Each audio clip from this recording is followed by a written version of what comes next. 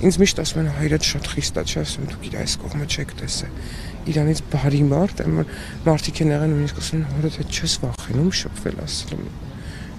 Կյանքում միակ մարդում հետ երբեք աշկանդում չեմ ունեցել շփվելու, որտեղ իմացել եմ, որ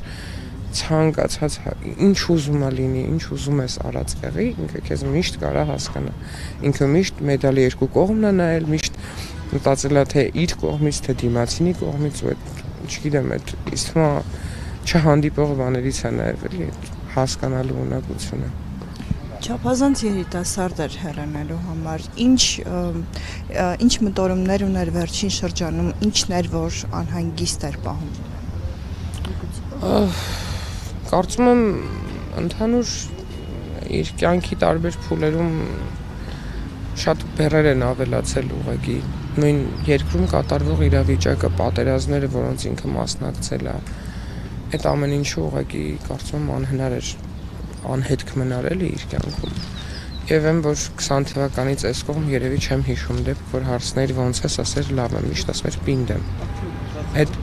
բառը իր բառն էր էլի արդեն դարել եմ որ հիմա բոլորը ասում են պինդ եղե ասում papan տենց էր միշտ որտեվ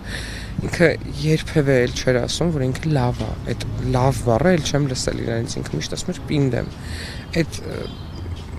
փորձությունները որոնք կյանքում մեր հետ եղան չգիտեմ իսկ մենակ ինքը չի որ դրան չի դիմանում ուղղակի իր կյանքի խտությունն էլ ազդեց դրա վրա այսինքն 57 տարեկանում մարդը այնքան էր հասցնում, ինչքան մենք 4 հոգով անկեղծ մի օրում այնքան բաներ անում, ինչքան մենք 4 հոգով փորձենք չենք կարող անել։ Ինքը շատ շուտ 2011 թվականին Բարի խումբը Իսպանիայում էր, այստեղ մնացել էինք 3 հոգի, ես 14 տարեկան էի այդ ժամանակ։ 14 տարեկան ես էի, մի աղջիկով 16 տարեկան էր, ու տղաներից մեկը 20-20 քանի տարեկան։ Մենք երեքով papai մի օրվա մի ժամի դասերը չենք հասցնում։ Այն ֆիզիկա ու չենք հասկանում։ Լավ, եթե մենք երեք հոգով այդ նույն բանը չենք կարողանում անենք, հայրս ո՞նց է անում։ Ու ինքը ամբողջ կյանքն է տենց ապրել, այսինքն այդ խտությունը չէր կարող ինչ որ միտեղից դուրս չգար գեր հոգնածությունը ես